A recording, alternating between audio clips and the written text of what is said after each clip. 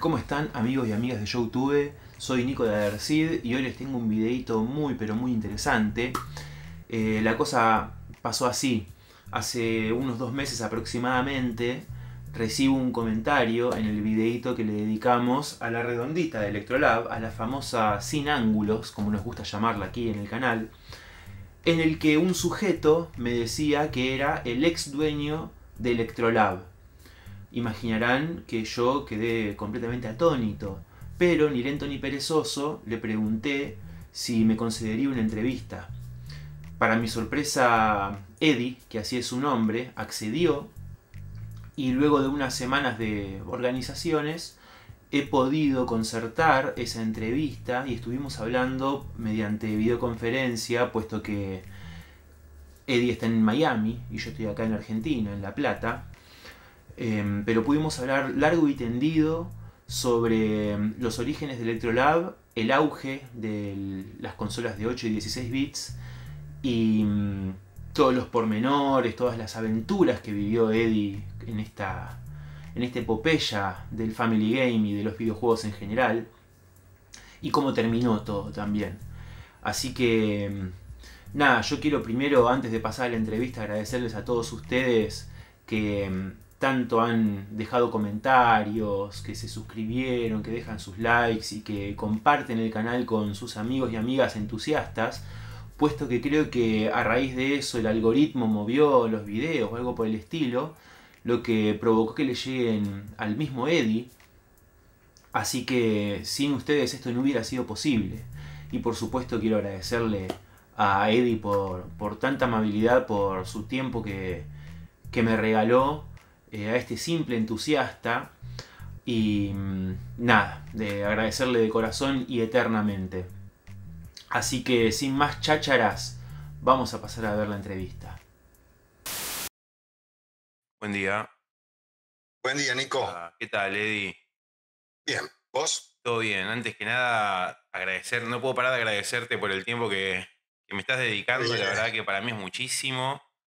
Eh, no solo para mí, sino para otra gente que, sigue el canal, que te aseguro que todo esto que vamos a hablar les va a encantar. Bueno, ok. Preparé una serie de mm, imágenes y videitos para ir mostrándote a medida que hablemos durante esta horita. Bueno, mira, ya que tenés la caja, si vas a uno de los lados de la caja, me vas a ver a mí. Sabés que también hay otra, justo que nombraste eso, eh, ahora vamos a llegar a eso, porque creo que también te veo a vos en una propaganda, ¿puede ser? Eh, no me acuerdo eso. Ahora la, siguiente imagen va a ser esa propaganda, de hecho. Así que capaz que. Capaz que, bueno. Antes que nada, vamos a empezar.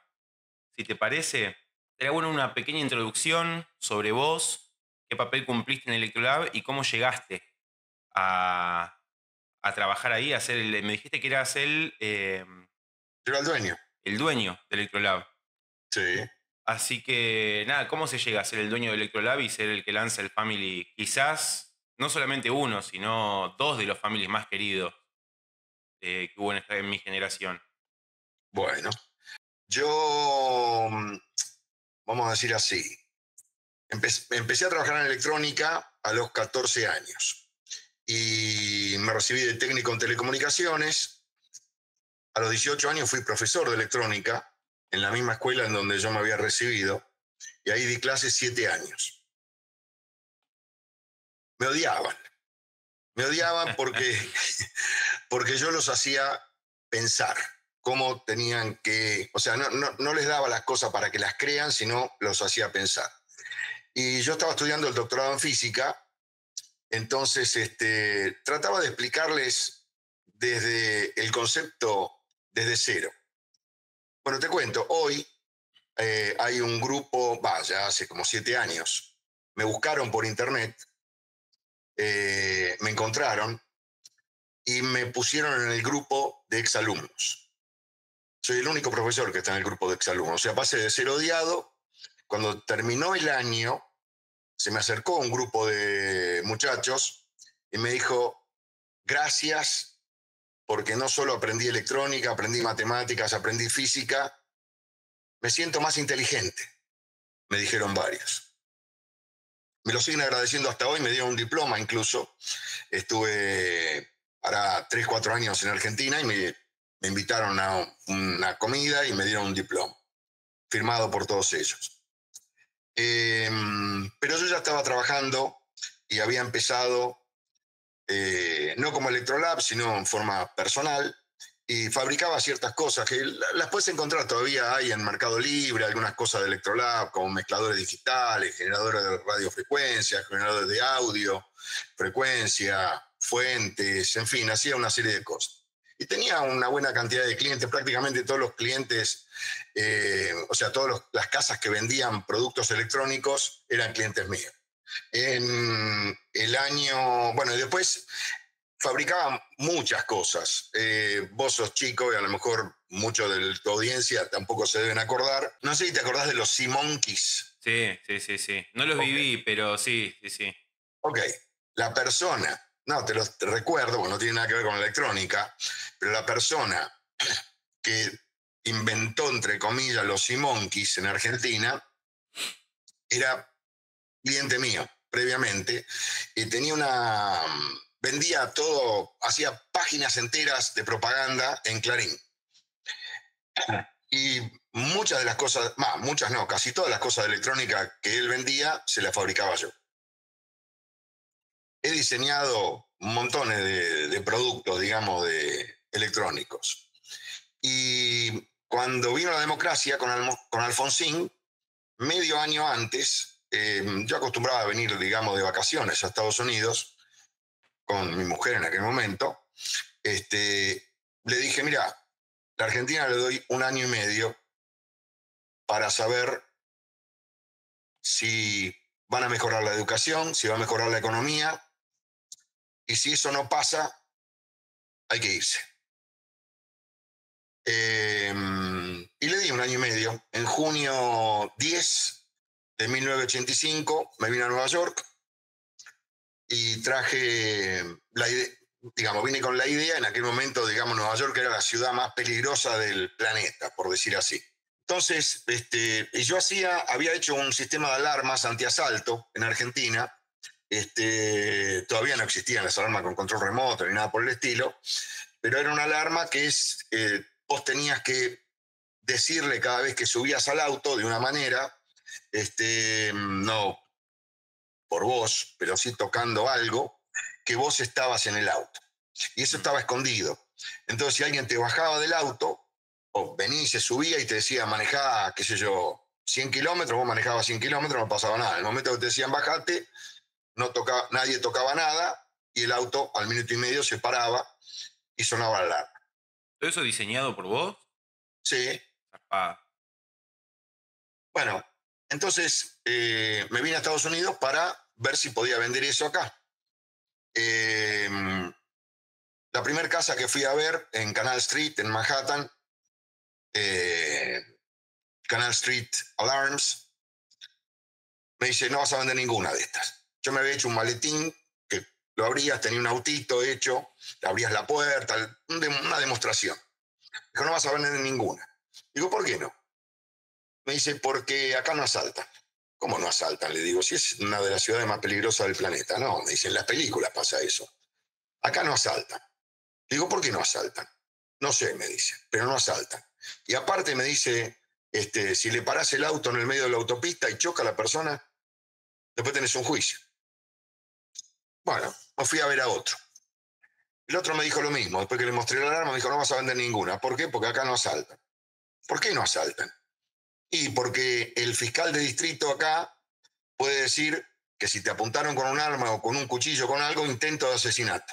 Y vas 25 años preso y no tenés reducción de pena. Entonces no asaltan. Te roban el auto cuando estás solo, pero no te asaltan. Ahora, si vos me podés, yo tengo todas estas alarmas. Tenía montones de modelos de alarmas. Y tengo que tener todo esto en inventario. Si vos me podés hacer una alarma que me cumpla la función de esta, de esta, de esta, de esta y de esta, yo te compro. Ok, le dije, no hay ningún problema, dame las características que querés. Bueno, em, diseñé la alarma en dos días y en menos de una semana le llevé una alarma hecha, a mano. con este, no sé si sabes lo que son deep switches, las llavecitas esas chiquititas. Sí. Eh, ok. Entonces, este, y con eso programaba la alarma para que haga la función de una, de otra y 20 funciones más de lo que no me había pedido. El tipo se quedó sorprendido. Tardó como 15 días en instalar la alarma, pero la instaló. Funcionó todo y se hizo distribuidor de las alarmas. Entonces yo eh, importaba de Estados Unidos y de eh, Taiwán en aquel momento a la Argentina, armaba las alarmas en Argentina y las reexportaba, digamos, o exportaba la alarma para acá al distribuidor. Y eh, hice Consumer Electronic Show en Chicago, Consumer Electronic Show en Las Vegas. Eh, y en un momento determinado empezó a surgir el Nintendo de 8 bits. Pero yo estaba en otra, estaba en las alarmas. Mm.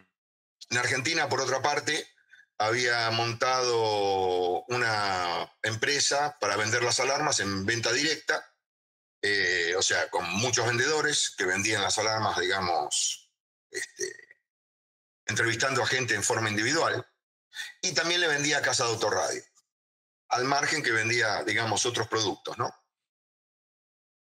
¿Y qué pasa? Nace, bueno, mi hija del medio tuvo un problemita de salud mi mujer se asustó mucho, pero se la bancó. Y yo iba y venía, porque ella no se quería venir a vivir a Estados Unidos. Y en 1990 nace mi hijo, el más chico, y tiene un problema de pulmones. Mi mujer me dice, basta, no viajas más. Pues yo viajaba a China, a China, a Taiwán en aquel momento, este, bastante. Y bueno, en Argentina se complicó después, entonces empecé a fabricar en República Dominicana. Bueno, fabriqué acá en New Jersey, después fabriqué en República Dominicana, después fabriqué en Japón y después ahí es donde me enteré, digamos, porque mis chicos eran muy chicos, todavía no jugaban y el juego se hacía muy famoso, el Nintendo, pero yo estaba todavía en otra. ¿Esto en qué año era más o menos? 1990. Ah. Entonces, este, mi mujer me dice, nada, no, no viajes más, no quiero que viajes más, quiero que te quedes conmigo. Bueno, ok, este, le vendo la empresa acá a mi distribuidor y veo que está el Nintendo, hablo con Nintendo, no me acuerdo el nombre de la persona, no me acuerdo del apellido, me acuerdo que se llamaba Leon y estaba en Texas, que era el que, eh, digamos, eh, el, que tenía la representación, no la representación, era de Nintendo, pero para eh, Sudamérica. Hablo con él, habla con la gente de Nintendo, que sé yo, qué sé cuánto, me dice que tengo que hacer por lo menos, para hacerlo palene, porque acá es NTCC el sistema, para hacerlo palene lo tengo, tengo que hacer 50.000 eh, juegos, por lo menos. En Argentina, aparte, había unos impuestos de aduana terribles, más un montón de cosas. El NES acá valía 100 dólares. Los juegos valían 34, 40, 50 dólares cada uno. Era invendible en Argentina, absolutamente invendible. Entonces, hablando con ellos, me dice, mira, lo que podemos hacer, me dice, es si vos querés, nosotros te presentamos a uno de los que nos fabrica los juegos en Taiwán y haces eh, con ellos, le decís cómo tienen que hacerlo para hacerlo para N y te arreglás con ellos. Nos pagás a nosotros un royalty por los jueguitos y con la condición de que vos no lo vendas en ningún otro lugar, ningún otro país, digamos. Vos hablaste con Nintendo directamente y te permitió sacar consolas de lo que se conoce como consolas piratas. La consola no era el problema, el problema eran los juegos, el software de los juegos, Mario Bros y toda esa historia. Entonces yo hice un acuerdo con un abogado que ellos tenían en Argentina o sea, designaron un abogado de Estados Unidos o Nintendo de Japón? ¿Cómo? ¿Nintendo de Estados Unidos o Nintendo de Japón fue esto? Bueno, Nintendo de, Japón a Estados Unidos y de Estados Unidos es donde hicieron el, acuerdo. Ah, Este es alto dato. Eh, sí. no, sé si darte el nombre del abogado, porque no sé, Ah. tendría que pedir permiso a él, pero se llama Antonio, de nombre. Este, con el cual, bueno, tuvimos una excelente relación después y todo. Este, después te voy a contar cosas que pasaban en Argentina con respecto a eso, con el copyright. Este, mm, bueno, hago ese acuerdo eh, con Nintendo. eh, perdón, previo a ese acuerdo, eh, hago las consolas primero. Eh, entonces le mando el diseño del procesador de video eh, en una se hace se quema digamos con ultravioleta este un un procesador digamos no importa o sea es, es técnico eso no interesa pero hago uno este, y se lo mando le mando el programa para poder hacerlo este, y mando a hacer con Taiwan Crystal Corporation eh, 10.000 cristales, porque tiene que tener una frecuencia determinada, la subportadora de video, la portadora de audio y todo eso para que fuera palene. Pero acá hay una pregunta. Sí. ¿Vos diseñaste la- la- las consolas Electrolab o, o No la consola entera, el procesador de video. no, no- no llego a entender cómo, cómo, cómo fabricás la consola. ¿Dónde- qué- ¿Una sola persona fabrica la consola? La consola la fabrican en Taiwán, Bien. una firma que se llamaba NTDEC. Sí. ¿Y cuál es su relación con Nintendo, esa marca NTDEC? Ellos le fabricaban a Nintendo y me fabricaron a mí. Ah, o sea, básicamente las consolas Electrolab son iguales a una Famicom. Claro. No, este es impresionante. Lo que, lo que se cambió fue el procesador de video y el cristal para que saliera eh, por palene. Claro. Pero mira, dame un segundo. Este, te voy a mostrar algo. No tengo el original acá, pero. ¿Ves esto? No, no te puedo creer. ¿Qué es eso? Esto es una copia de una patente que me la firmó Alexander Haig. ¿Y quién es Alexander? Alexander Haig era el secretario de Estado que intervino en la Guerra de las Malvinas. Secretario de Estado de los Estados Unidos. ¿Y la patente esa de qué es? De un producto que yo patenté para la NASA. No es nada que ver con el Family, calculo. No, nada que ver. Pero mirá, acá tenés Electrolab. No sé si se alcanza a leer el producto. Y acá dice Electrolab. Acá está la firma. Perdón. Acá está Electrolab, mi firma, la firma de Alexander Haig. O sea que se puede decir que las consolas Electrolab son tecnología de la NASA. Nah, no tiene nada que ver. Este, son dos cosas diferentes. O sea, lo que me refiero que vos me preguntaste si yo diseñé eso, eso, sí, diseñé como diseñé tantas otras cosas. claro, para vos era algo común, digamos. Sí, era un, un producto más, digamos, diseñar, acomodarlo para que funcione con, eh, el, con el sistema Palene que había en Argentina. Y así cualquiera pudiera tener acceso. Sí. porque la gente si no tenía que convertir el televisor a NTSC, era un, todo un problema. Bueno, la cuestión es que eh, mando a hacer el- los 10.000 cristales, eh, que no era mucha plata eso, y le- me vuelvo a la Argentina y me mandan una consola. Me llega una consola a eso de las 10 de la noche, me pongo a probarla. ¿Cuál No, consola te llegó? Pues, ¿esta te llegó? No, eso, lo- eso fue un, un molde que hice yo distinto. La consola normal que venía era cuadradita. Este, Uy, qué lindo que yo, ver eso. yo hice, un, hice hacer un molde exclusivo para que fuera distinto, digamos. O sea, esa consola tenía forma de NES. claro. Ah, era una NES, básicamente lo que te habían mandado. Era una. NES, pero lo habían cambiado el Ah. circuito impreso con la electrónica, digamos, para que funcionara con el palene. Claro, bien. Yo le había dicho que lo tenían que poner en canal 3, porque entraba por antena, Sí. eso, para que fuera fácil para conectarse. Estoy hablando hace... Lo que pasa que hubo una evolución fuertísima, ¿no es cierto?, en estos últimos años. Este, en mi vida pasamos de hacer las cuentas a mano a tener una computadora que hace todo en un minuto, Va, un segundo, o te contesta lo que vos le preguntás. Este, que a pesar de que sé, digamos, bastante bien cómo funciona, igual es admirable que podamos hacer todo lo que, donde llegamos. Pero básicamente me llega la consola, la pongo, no funciona. Lo llamo a Jimmy Chi. Los chinos se ponen nombres occidentales, porque si no, si te dicen Wingong, no entendés nada, no te acordás el nombre nunca. Ah, se lo ponen para, para hablar con gente de afuera. Exacto. Mira, claro. Entonces, este, hablo con Jimmy Chi y el apellido se lo dejan, pero se pone un nombre que uno puede acordarse. Digo, Jimmy, esto no funciona. O sea, ¿qué pasó? Al final logro entenderle que la hizo Canal 13. Ah. Claro, pero Canal 13 me interfería con el Canal 13, digamos, de Buenos Aires. Pero pongo la consola en Canal 13 y ¡pum! salió Mario. Espectacular, dije. Buenísimo. Entonces, eh, volví a Taiwán. Eh, ese viaje lo hicimos con mi mujer. Eso era ponerle julio, agosto más o menos, de 1990.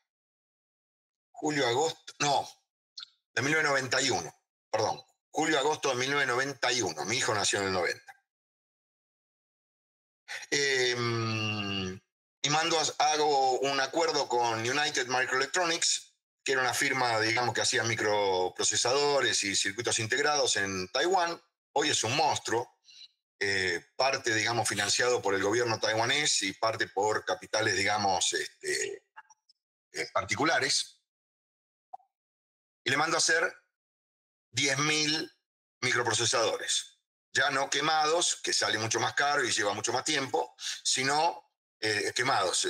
se quema con luz ultravioleta, ¿no? Mm. Este, sino hechos directamente para poder venderlos y le encargo a Entidec que me haga 10.000 consolas. Me mandan mil aéreo, mil por eh, combinado, barco y aéreo, y el resto todo por barco.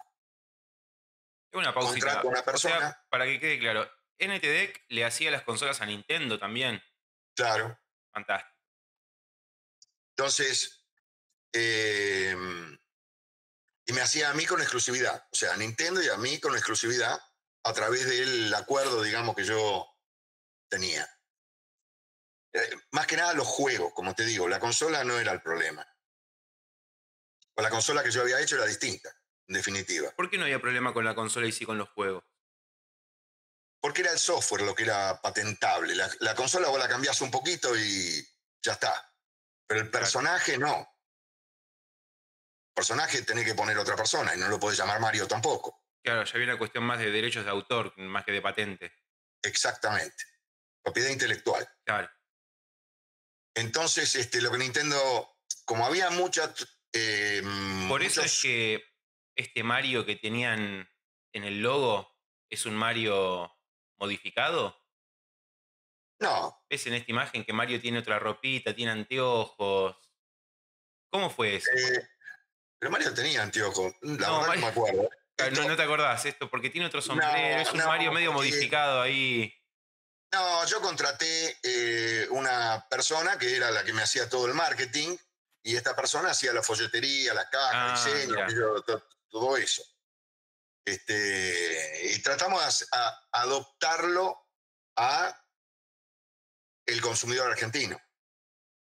Em, entonces, em, me llegaron los primeros mil juegos y yo había contratado a una persona eh, cuyo hijo se llama Mario, de casualidad. Mm. El hijo de Pedro se llama Mario. Y bueno, eh, Pedro me vino a vender eh, un telefonía digamos, la central telefónica, en aquel momento se vendían las centrales telefónicas, bueno, yo tenía una central Panasonic, y él vendía un software para ver quién llamaba, quién no llamaba, qué era lo que hacía, qué sé yo qué.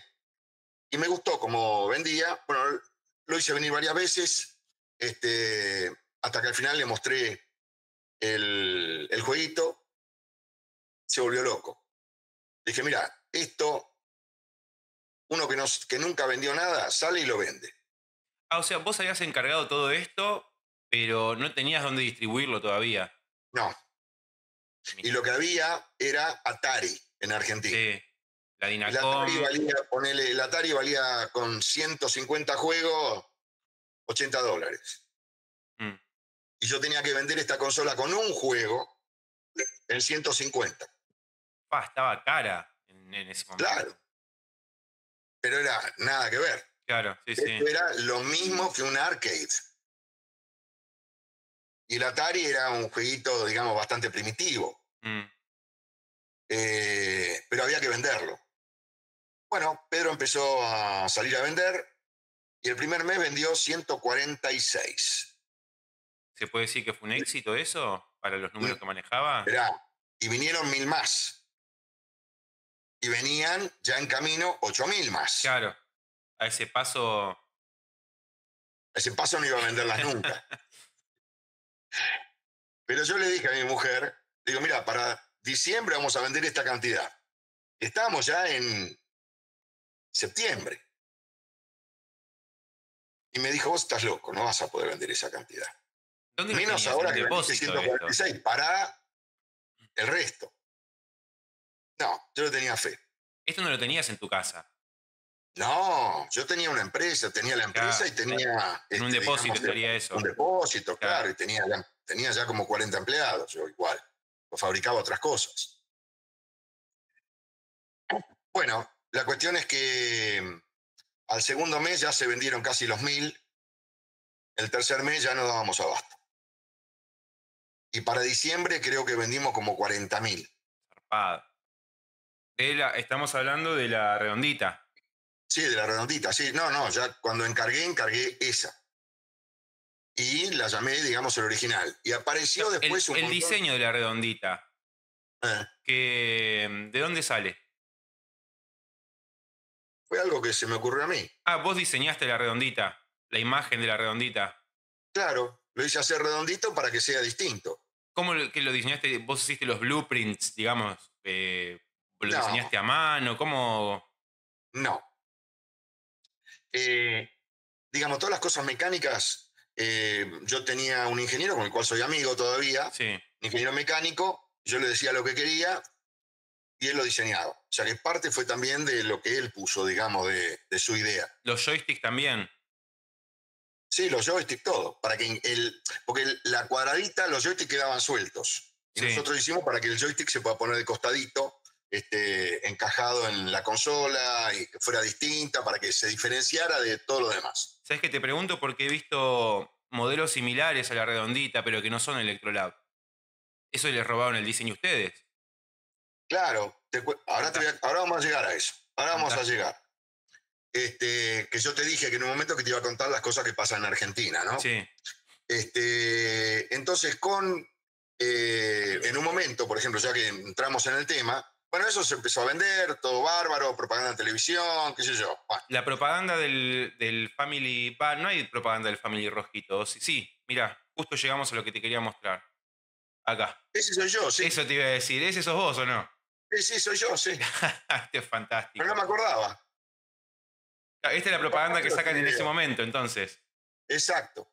Esa creo que es la, la hija de una chica que trabajaba en casa. Bueno, tenemos más preguntas para hacerte más adelante cuando lleguemos sobre, sobre personas que aparecen, porque además en Electrolab lo que hay es que hay como un pequeño universo entre las propagandas, tanto las impresas como las, las audiovisuales. Eh, Hay una propaganda muy querida, pero ya vamos a llegar a eso. Sigamos con el tema. Entonces el Family ya estaba llegando a Argentina y estaba haciendo un éxito. Claro. Éxito total. Hasta incluso me hacían propaganda sin pagarla. O sea, en, la- en las, a lo mejor, eh, novelas o cosas por el estilo, venía el padre. Creo que había una que se llamaba Grande Pa y venía un día con el family y les traía el family a los chicos y los chicos se volvían locos. Bueno, este, pero claro, yo le tenía fe porque sabía lo que había pasado en Estados Unidos con el eh, NES y mm, yo sabía que si hacía la propaganda, Lo único que le faltaba a la persona que estaba mirando la propaganda era el joystick para poder manejar lo que estaba viendo. Sí. Y que iba a tener éxito, le tenía fe, que iba a andar. Bueno, y así fue. Este, pero a lo que voy es a esto. Con el tiempo empezaron a aparecer copias. Este, y empezaron a aparecer copias de los cartuchos. Sí. Entonces, Nintendo me pidió que yo, que yo identificara los cartuchos. Tenían un sellito que decía Electrolab. Mira, Eso, tal cual. Exactamente. o sea, se puede decir que este cartucho entonces tiene la misma calidad que un cartucho original japonés. Claro. Entonces le poníamos el sellito y eh, con Antonio y con la policía iban a hacer raids Sí. este, para sacar los, los cartuchos que eran truchos, digamos. Bueno, te puedo decir que la policía, ¿qué te puedo decir de la policía? Este, el que vendía los cartuchos truchos le daba más plata de lo que me costaba a mí este, y seguían vendiendo. sí. Pero de última, digamos, tanto no me molestaba porque eh, hacer la fuerza yo solo, este, mm, hacer la fuerza yo solo como compañía, era muchísimo el costo, digamos, la publicidad y todo, llegar a todo el mundo. Mientras que si otros también vendían, me ayudaba. O sea, no me perjudicaba tanto, Claro. este, porque el negocio iba creciendo. Crecía el fenómeno, digamos, del Family Game. Claro, exactamente. Eso fue lo que permitió que fuera el fenómeno del Family Game. Y eh, capaz que con lo, con lo grande que fue, eh, capaz que no llegabas a abarcarlo todo vos solo. Claro, pero vos tenés que pensar lo siguiente. Si vos tenés un, un negocio, ¿no es cierto? Y vos eh, suponete que tenés, tenés un capital finito para invertir. Sí. Entonces vos decís, suponete que decís, bueno, voy a vender, no sé, tengo capital para hacer 10 mil. Y que al otro mes, y ganás, suponete, el 100%. Sí. Invertís todo, al próximo mes podés vender 20 mil. Sí. Pero si la demanda son 50 mil, Claro, no llegás. no llegás. Entonces, bueno, tenía financiación de los proveedores, por suerte. O sea, los proveedores me vendían y yo les podía pagar más tarde. En fin, toda una cantidad de cosas, pero tampoco eh, era eh, todo lo que yo podía llegar a vender solo, ¿entendés? Por eso te digo que me molestaban, pero no tanto. Claro, El resto, porque igual yo no podía crecer tan rápido. claro. ¿Entendés? Igual vendimos millones de, de- de- de jueguitos y de consolas. Este, pero bueno, básicamente esa fue la, la historia del fan. Surge después el Ending Man. Así es. ¿Cómo fue eso? Porque el Ending Man, ese no lo diseñaron ustedes. Eso, la verdad, no me acuerdo bien. El mismo Entidec, eh,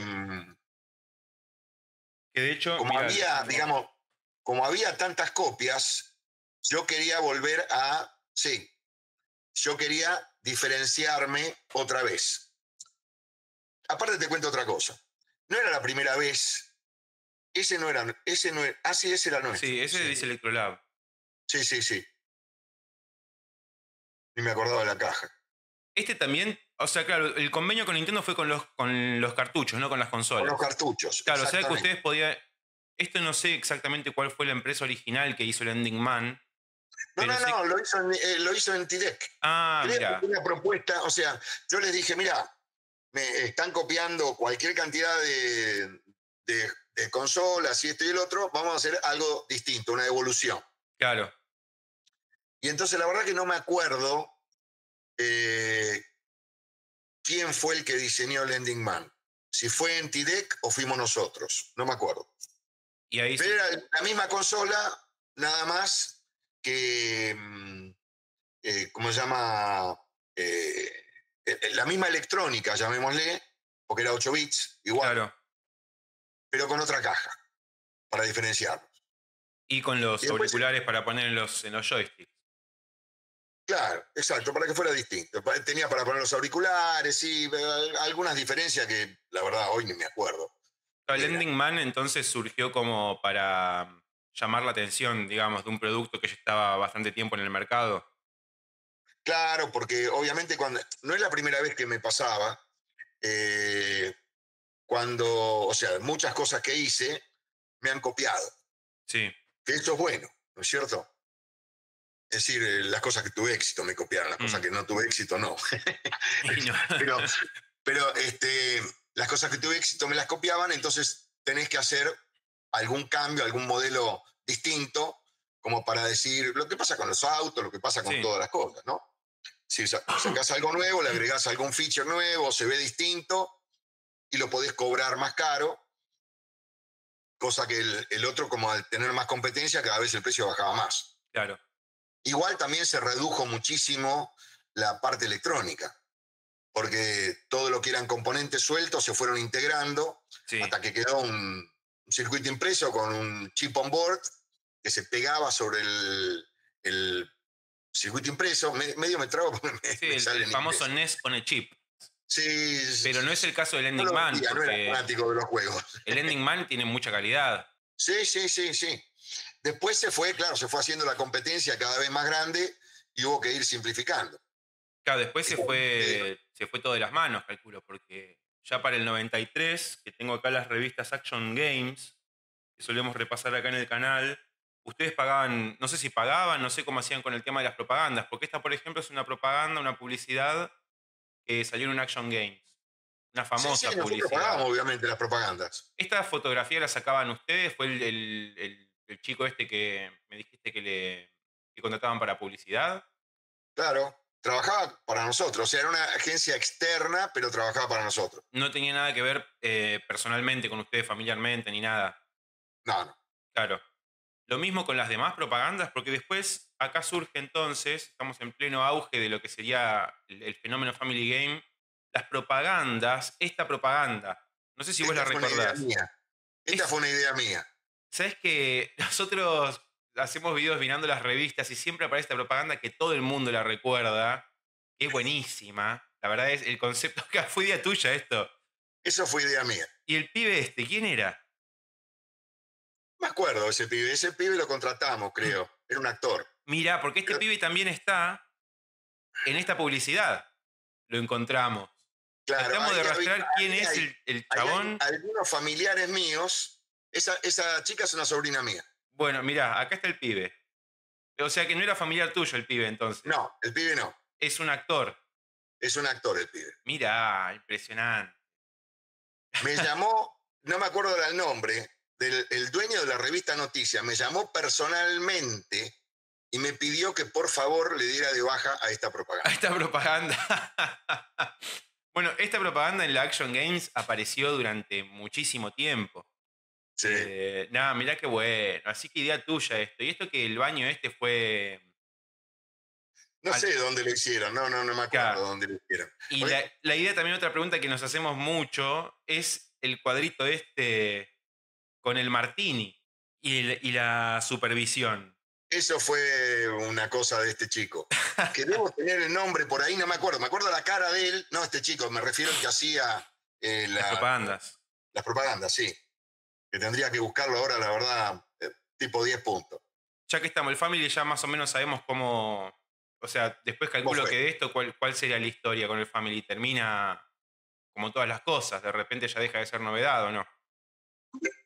Te cuento. eh, yo también empecé a hacer las consolas Sega. Ah, para, antes de pasar a eso, porque tengo las imágenes de la Sega y te quería preguntar, porque previo a eso está la, la supervisión. La Supervision, sí. ¿Qué onda con esta consola? ¿Cómo fue? Eso fue, lo hacía una firma, NES sacó el Game Boy. El, Game Boy. Y una firma en Hong Kong este, hacía este, este juego. Este no lo diseñé yo, lo hicieron ellos. Sí. Esto era algo totalmente distinto. O sea, no tenía nada que ver con Nintendo. Que a vos le importaste, digamos. Claro, no hice un arreglo sobre el Game Boy. No, porque no es un Game Boy. No, no, no, nada que ver.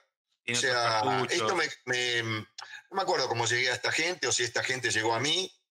Este, mm, lo que pasa es que en algún momento, digamos, cuando te transformás, cuando creces mucho, delegás mucho. Claro. Entonces, al principio sí me puedo acordar de cosas porque las hacía yo, prácticamente a mano. Claro. Este, o intervenía en las propagandas y en un montón de cosas, pero después me desligué, digamos, de todo eso. Decía, quiero hacer esto, quiero hacer el otro, buscame así, sí, me gusta, no me gusta. Bueno, acá está la propaganda de la supervisión este chabón, calculo que también era un, un actor. Sí, este era un actor, un actor, sí. Bien. Sabés que se creía que era Lionel Campoy, este, el que hizo de Bobby Goma, pero no, no era. Era, muy bueno, muy divertido. Sí, sí, mucho carisma este, este muchacho. Sí, sí, sí. Eh, ¿Eso fue idea tuya también, estas propagandas, o ya eran directamente.? No, no, no, las armaban ellos. Ah, bien.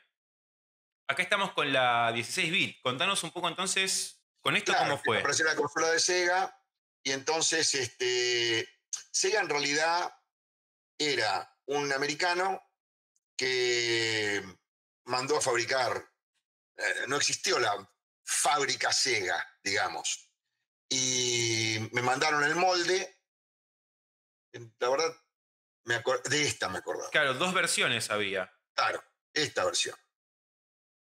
El molde de esta consola y eh, hacía la inyección de plástico, donde me hacían antes las cajas de las alarmas y otras cosas. Ah, ¿está fabricada en Argentina acá toda la carcasa? Ahora te cuento. Eh, la carcasa y la fuente de poder estaba fabricada en Argentina y estaba ensamblada en Argentina. O sea, yo traía el circuito impreso y los joysticks y se armaba todo en Argentina. Con, con respecto a, las, a la redondita, ¿también fue fabricada en Argentina la carcasa o era, era importada? No, esta ah. venía entera, de afuera. Bien. Entonces, esta era fabricada en parte acá y... Era mm, ensamblada en Argentina con componentes nacionales e importados. Bien. Y eso era lo que decía en la caja. A ver. Pero como todo, en Argentina, eh, si te agarraba la aduana, eh, era una cosa. Y si te agarraba protección al consumidor, tenía que decir otra, que se contradecía con lo que decía la aduana. Claro. Em, entonces, un día em, me secuestra la policía una camioneta con 70 mil dólares de mercadería. Uf. Y yo tenía una inspección de DGI y aduana ese día. Eh, yo tenía un amigo que era muy amigo del... Bueno, te tendría que contar otra historia. este, eh, fui preso por terrorista. No. ¿Cuánto sí, tiempo? nada que ver, ¿eh? ¿Pero qué, por haber importado esto? No, Ni siquiera no, importado. antes, porque hacía un micrófono eh, a este hombre que vendía todas esas cosas que yo le fabricaba de electrónica, este, hacía un micrófono que eh, transmitía por FM. Sí. Bueno, hicieron una denuncia, no sé qué historia, me metieron preso por terrorista. Nada que ver, una, una cosa estúpida, completamente ridícula, este, que no tenía ningún sentido. Obviamente estuve, me llevaron un viernes y el lunes el juez dijo, esto es una estupidez, vayan a su casa. Pero la persona que me vino a buscar, que era un inspector, y se llamaba Tito, se hizo muy amigo mío. Porque se dio Sí. cuenta que era una estupidez, que, no, que estaba mal. A él lo mandaron y cumplió su función, digamos, lo que tenía que hacer. Bueno, él llegó a ser segundo jefe de policía. Entonces, este, lo llamé y le dije, mira, me pararon una camioneta los de eh, delitos fiscales. Este, por favor, decirle que yo no puedo ir porque querían que yo vaya. ¿Para qué querían que vaya? A ver, ¿qué te parece? No tengo ni idea para que les des plata. Ese- Obvio. Obvio, porque no les importa el delito, lo que les importaba era que le des plata. Pero no había ningún delito, porque estaba todo bien. Yo tenía los despachos de, la- de los circuitos impresos, tenía los despachos de los joysticks, tenía la factura de las carcasas, de to- to- todas las cosas y se llamaba en... eh, o sea que estaba todo bien, Mm. pero no pude ir, porque tenía esa inspección, digamos, de DGI y aduana, que también salió bien, pero estuvieron todo el día. Y yo no pude ir. Entonces me llama el comisario de delitos fiscales, este, tampoco voy a hacer nombre porque no quiero tener problema con nadie, este, y me dice, mirá, tuvimos que llamar a la gente de aduana y la gente de aduana se llevó todo. Y se llevó la camioneta también, porque es el vehículo del contrabando, digamos. Claro. Este, Cuando fui a hablar con él, me dijo, ya se lo llevaron, fui al juez, me costó una fortuna para que salga, toda la historia, salió todo eh, arreglado. Este, este hombre me dijo, no, pero nos hubiera dado 100 mil dólares y se terminaba toda la historia. Poca cosa, ¿no? 100 mil dólares. Sí.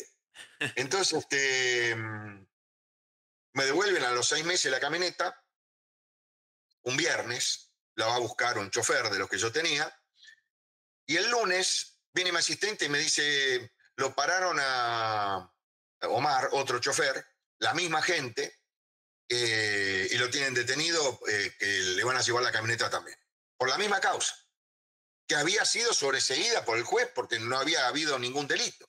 ¿Entendés? Pero me retuvieron la camioneta, la mercadería la perdí, pues se la robaron. Este, mm, y eh, levanto el teléfono y lo llamo al celular al subcomisario de delito fiscal. Daniel. Digo, uh, Eduardo, me dice, ¿te invocaron otra vez? No, no me invocaron otra vez. Esto lo mandaste vos, le digo. Yo el sábado juego al golf con, con Corach, que era el ministro del Interior.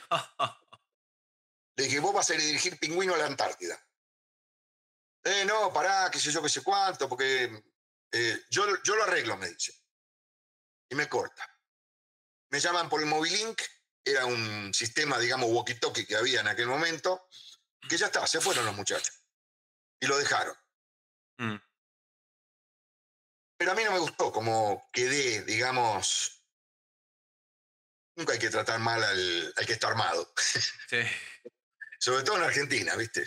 Entonces, este, y ya había tenido una experiencia con, con, la primera, cuando me dejaron, cuando me metieron preso, el proceso duró como dos años. Para salir del país tenía que pedir permiso, toda una historia. El juez era un juez, un juez federal, eh, Norberto Gileta, podés buscarlo. Mm. Y el fiscal era el fiscal Nicasio Dibur, que después fue juez federal. Y el, el fiscal dijo, usted tiene derecho en, en el sobreseimiento definitivo no que yo no era culpable del delito, que no había habido delito. Claro. Me habían metido preso por algo que era, no, era, no es preso, detenido, digamos, hay una diferencia entre preso y detenido, ¿no es cierto? Y que yo tenía derecho a reclamar justicia y eh, recompensa por daño moral, comercial, qué sé yo, qué sé. Entonces lo fui a ver al juez, que había ido tantas veces para pedirle permiso para salir del país y cosas por el estilo, y ya teníamos cierta relación, pues yo tenía un avión y el juez un día me dijo qué iba a hacer con el avión. Bueno, toda, una historia que se hizo una relación. No nos hicimos amigos, ni mucho menos, pero teníamos una buena relación. Y le dije, eh, Norberto, ¿qué, ¿qué te parece? ¿Que acciones, digo, contra el Estado por esta historia? Dijo, no me gustaría leer en el diario un día de la mañana que te encontraron en una zanja con la boca llena de hormigas. Olvídate, me dijo. ¿Quién diría que y queríamos conocer la historia sobre el family en Argentina y estamos, parece Breaking Bad directamente esto? Eddie, para terminar, que nos quedan cinco minutos más o menos, te hago unas cortitas y al pie. te cuento esto, pero te cuento esto entonces. ¿Qué pasó? ¿Cómo terminó el tema del family? Entonces lo llamo a otro amigo, Julio, y le digo, Julio, le digo, mira, quiero hablar con el, eh, con el el, comisario, el subcomisario de delitos fiscales, porque pasó esto, esto y esto, este, y no quiero quedar mal con ella. Entonces vinieron a mi oficina y me dijeron que por 1.500 dólares mensuales no molestaban más. Y que yo podía, si quería, traer contrabando y hacer, no sé, otros delitos. Que yo le dije que lo siento mucho, pero yo no, no hago eso. O sea, no lo hice nunca y no lo voy a hacer. Bueno, ok. Y todos los meses les mandaba 1.500 dólares con Julio. Sí. Que Julio era subcomisario de prevención del delito. Y había hecho la carrera de suboficiales con estos dos. Entonces, este, un día había un señor, un chino, que venía, digo, un chino no en forma despectiva ni nada por el estilo, digo porque, traía las cosas de China mm. que las fabricaba su familia y las vendía sin factura, sin IVA, nada. Entonces agarré, le dije, hola, eh, Roque, era el comisario de delitos fiscales. Mira, venite a la oficina que tengo un trabajo para que vayas a ver. Vino, le dije, mira, está este tipo que está vendiendo de esta forma, ta, ta, ta, ta, ta, va justo para vos. Y me dice, pero ¿sabes qué? Este, es cliente nuestro. Este. ¿Él también le pagaba los 1500? pero hacía contrabando, hacía lo que me habían propuesto. Hacía lo que vos no, no, estabas dispuesto a hacer. No. Y entonces dije, bueno, terminó el negocio. Porque si yo tengo que pagarle a la gente y encima no me protege, porque no sigue la ley, sí. se acabó. ¿Y ahí terminó Electrolab? No, no, no. Electrolab, Electrolab siguió haciendo otras cosas. ahí terminó toda la movida de los videojuegos. Los videojuegos también, exacto. Mira vos, con, respecto, así de, de, repente fue, dijiste, se terminó esta, este, esta aventura, digamos. Y, pero vos pensás, 21% de diferencia con IVA o sin IVA, sí. ¿cómo hace para competir? Esto fue en la época del Sega. Claro. ¿Qué te iba a decir? O sea, después ya a partir del Sega ya se, se retiró Electrolab del, del mercado de, los, videojuegos. Exacto. Eh, un par de preguntitas antes de que... Porque después vino Sony PlayStation. Sí. tendría que haber hecho yo un acuerdo con Sony. Claro, sí, sí, no. Imposible hacer una PlayStation diferente, además, ya eran otros modelos. No, pero aparte la Argentina se fue al diablo en el año 1994, no había dinero, los patacones, todo. Era un, lío terrible, entonces decidí hacer otra cosa. ¿Qué te iba a decir? Bueno, las últimas preguntas antes de que se nos corte esto. Te agradezco muchísimo, Eddie, por todo este tiempo. La verdad que una, una información que va a generar escándalo en los entusiastas de los jueguitos viejos. Em, con respecto al Sega, ¿no había un convenio con Sega? No. Porque vos sacaste solamente la consola, no, sacaste, no sacaron juegos. No. Bien, ahí está. A ver si entendí bien. ¿Viste? Después, ¿qué más tengo? Para cuando elegían los juegos para traer de Family, ¿les daban algún catálogo? Eh, bueno, yo tenía, tenía oficina yo en Taiwán y tenía oficina en Hong Kong. Entonces, este, me decían que, y aparte tenía relación en Estados Unidos, yo sabía qué juegos iban a sacar, me avisaban, me decían, vamos a sacar las Tortugas Ninja. Sí. Ok, mandame 300.000 cartuchos de Tortuga Ninja. Se vendía y salía otro juego. Y los juegos tenían entonces, claro, vos, la gente con la que contactabas, sacaban los juegos con convenio con Nintendo, con un porcentaje que daban. O sea, que este jueguito que yo tengo acá, eh, se podría decir que es no original, pero con ni siquiera con licencia, sino como una licencia medio. No, no, es un royalty que le pagamos. Mira, impresionante. Después, ¿qué más tengo acá? Tengo algunas preguntas que no quiero olvidarme que hicieron. Por eso intervine, porque la que, la que encontró tu video fue una hija mía. Mira. Ya, papá, encontré esto. Entonces, cuando vi que decía que era trucho, que esto, que el otro, dije, nada, trucho no. fantástico, fantástico. No era trucho. No, igual, si vos lo ves al video, digo que es no es Nintendo, que es un clon, lo que se llama un clon. No sabía, creo que nadie sabía que había convenio con Nintendo sobre esto, ¿eh? Pero que si algo que, que, digo en ese video es que es un clon de los buenos, con muy buena calidad, es algo que es sorprendente. Porque nadie sabía, o sea, vos no tenés por qué no te estoy acusando de nada, lo que digo es que yo por eso escribí, diciendo, no, no fue así. no, y te, agradezco muchísimo porque esto, ese, ese dato, te digo, lo de que va, va a generar un cambio total en la percepción de al menos el Family, por lo menos Electrolab. Eh, y de varios cartuchos. Y era, era, el único que tenía el convenio con Nintendo. Nada, fantástico, fantástico. Después, ¿qué más? Entonces, ¿vos conservás algo de toda esta época? No, no, no tengo nada. ¿Qué estás haciendo hoy en día? Hoy en día, eh, si vos vas a. Te voy a escribir acá en el chat. Estoy haciendo dos cosas. Esta es una. Sí ledradiant.com. Y esta es otra que estoy por lanzar, que es un, mercado móvil local. Closedeal.app. Exacto. Bien, los voy a chusmear. Y la última pregunta. ¿Cómo? Eh, te voy a dar una. Hay un video que ahí lo vas a entender. Estoy por lanzar eh, las apps, que son estas, esto que está acá atrás. Buenísimo. Ya nada que ver con con la tecnología lo que estás haciendo? Absolutamente, tiene que ver con la tecnología. Ah, ahí va, bien. Y con inteligencia artificial. Ah, claro, estás... Le Radian, Le Radian, si vos entras en la página, vas a ver, nosotros lo que vendemos es eh, luces de LED comerciales. Ahí va, ahí se ve. Me vendrían bien unas luces LED eh, para mejorar los videos, si, si soy sincero. Em, ¿Cómo terminó Electrolab? Electrolab, cuando vino el corralito en el año 2021, este, era imposible vender nada. O sea, se, recontra complicó. Eh, había. Eh, la Argentina eh, cayó en una situación muy fea. Este, no sé si te acordás, en la Plaza de Mayo, cuando se fue con el helicóptero de la Rúa, bueno, toda esa historia. Este, y en ese momento mi mujer me dijo, me quiero ir. Mm. Yo no me quería ir. este, pero ella se quiso ir. ¿Por qué no te querías? Es al revés de lo que pasaba a principios de los 90. Yo tenía 50 años en ese momento y dije, ahora me voy a ir. Tenía todo en Argentina. Sí. Pero estaba muy mal la situación pésima. Entonces, este, y mi hija se quería, mis hijas se querían ir. Dije, bueno, levanto todo y nos vamos.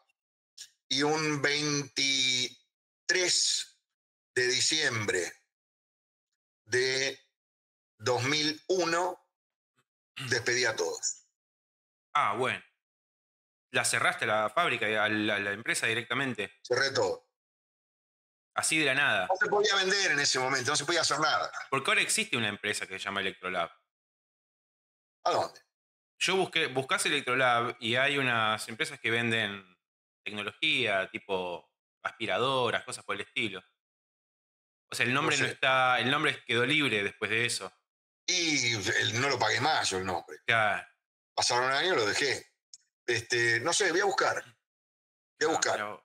Este. Mm, pero básicamente, digamos, eh, la Argentina se recontrapudrió, eh, todo complicado, corrupto, eh, me cansé. Eddie, creo que ya nos quedamos sin más preguntas. La verdad, una historia interesantísima. como te dije al principio, no puedo dejar de agradecerte por tu tiempo. Un gusto. y nada, estoy, estoy contentísimo por esto. Estoy contentísimo, no puedo parar de agradecerte. Bueno, lo que me alegra más es que muchos chicos estuvieron contentos. Eh, pero ni hablar, ni hablar. Y además, además también la, redondita es una consola, no solamente la redondita, también el Ending Man, las dos. Pero la redondita siempre es una consola que, generaba algo. Vos veías al amigo que la tenía y pensabas, esta consola creo que funciona mejor que la que tengo yo. había, había una cosita así que se notaba la calidad. Vos agarrás la consola y se nota que es de muy buena calidad. Eh, y bueno, te cuento una cosa. Yo, como te dije, fui profesor de electrónica, trabajé toda la vida en electrónica. Y si vos buscas ahora Le Radiant en eh, Google, vas a ver que tengo cinco estrellas y lo que dicen los clientes. Claro. Siempre apuntando a la calidad. Siempre apuntando a, a dar el mejor servicio posible y la mejor calidad posible. Que la gente esté contenta. No, fantástico, fantástico. Me he quedado ya sin palabras, sin nada más que preguntar. Eddie, te agradezco muchísimo, te libero, que sigas con tu día y posta, no puedo parar de agradecerte. ¿eh? ¿eh? Bueno, no, tranquilo. Mandame, agradeceme mandándome el link del video ese donde estamos con la familia. Este, sí, sí, sí, en mi casa. No, fantástico. Yo, yo, lo estaba viendo y le digo, viste, le digo a mi novia, ese es Eddie. Le digo, porque todavía viste la imagen de WhatsApp, viste, le digo, mira, mira, este no es Eddie. Y además eso también genera esa, no sé, hay algo como familiar que, rodea toda esta época y estos productos de Electrolab, hay algo que es, no, diría artesanal, pero se nota que, qué sé yo, es como los principios de, las, de cuando alguien está haciendo algo, que son, hay una cuestión más personal, hay algo que es... Te lo voy a decir en una sola palabra, amor. Exactamente, sí, sí, creo que en, la, creo que en las consolas estas, eh, en la redondita, sobre todo, se nota que hay se, nota, creo, ese, ese amor, fue, ese fue hecho con cariño, fue hecho con amor. Sí, y creo que realmente se nota. Y la gente, cuando esté esto, cuando esto salga, vas a ver en los comentarios que la gente va a decir, sí, definitivamente se nota el amor que hay en esa consola.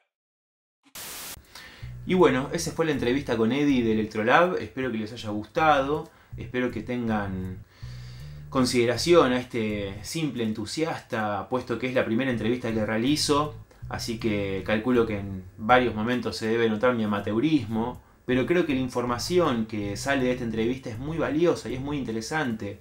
hay datos que yo jamás había escuchado y que mm, creo que muchos de ustedes tampoco conocían. Así que espero que me dejen sus comentarios sobre todo esto que estuvimos hablando, a ver qué les pareció, qué otras informaciones tienen, experiencias que hayan tenido también con respecto a todo esto que estuvimos hablando. Y yo los voy a leer a todos y bueno, algunos los, los responderé, otros les daré su respectivo like. Y bueno, yo quiero despedirme nuevamente con un enorme agradecimiento a Eddie por haberse copado con esta entrevista y por supuesto ustedes. Los invito a que se suscriban al canal si es que todavía no lo hicieron y que compartan este video con sus amigos y amigas entusiastas del Family Game. Y si quieren hacer algún aporte económico al canal, lo pueden hacer por la Cafecito App.